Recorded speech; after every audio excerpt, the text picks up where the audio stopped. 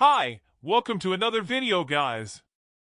A brawl between Phoenix Suns owner Matt Ishbia and Denver Nuggets star Nikola Jokic made headlines Sunday night. During Game 4 of the series, which the Suns won. The hot tempers remained, however, on the court.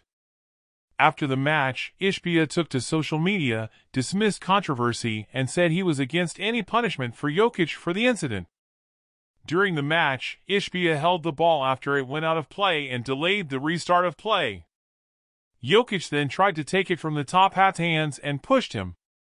After the incident, the American media considered the possibility of the athlete being punished.